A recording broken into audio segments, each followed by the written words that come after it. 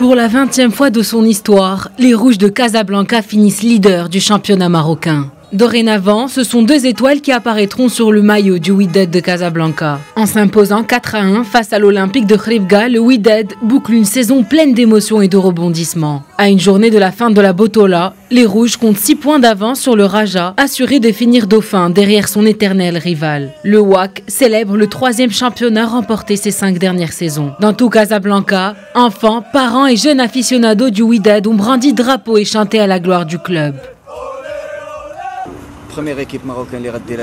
Nous sommes la première équipe marocaine à remporter une première étoile, puis une seconde. On est très content de cette victoire. On est fiers de la saison réalisée par toute l'équipe, malgré les erreurs d'arbitrage et toutes les injustices que le club a subies.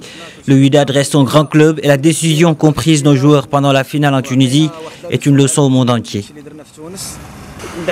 Après une saison qui a été assez longue et difficile, cette victoire coïncide avec la finale de la Ligue des Champions mais nos joueurs n'ont pas été atteints par ce qui s'est passé lors de la finale.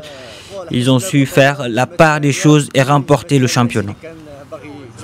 Pour l'instant, le Wydad attend toujours la décision du comité exécutif de la CAF pour savoir si la finale retour de la Ligue des Champions sera rejouée. Dans le bas du tableau du championnat marocain, le Shabab d'Al Husseima a été relégué en deuxième division en finissant 16e du championnat. Le Moreb de Tétouane, qui compte désormais 31 points, le Kaukab de Marrakech, 15e avec 29 points, joueront le tout pour le tout lors de la dernière journée pour conserver leur place parmi l'élite.